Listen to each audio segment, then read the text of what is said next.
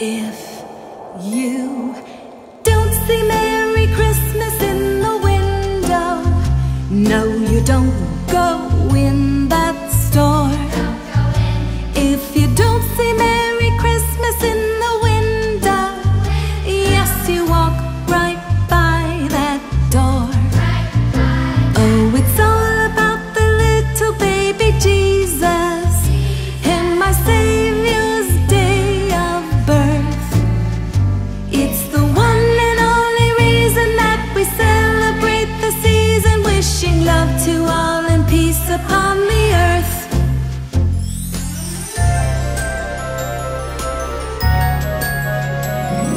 you don't hear Merry Christmas when they greet you, when you're walking through their store, simply turn and say, It's very nice to meet you as you walk right out that door.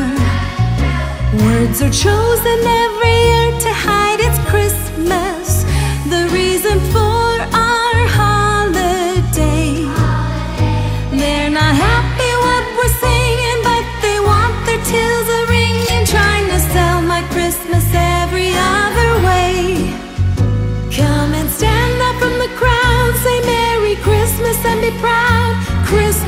isn't just another holiday.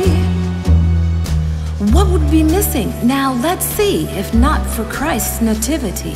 No silent night or first Noels, no Santa's sleigh or jingle bells, no star atop the Christmas tree, no special day for family, no bells that ring for angels' wings, no dolls and trains as Santa brings, no drummer boys or Tiny Tim, no Mr. Scrooge, we all know him, no list of who's been good or bad. Well, maybe that won't be too sad. No candy canes or mistletoe, no Christmas lights out in the snow, no stockings hung with so much care, hoping Santa finds them there. And one more thing there wouldn't be.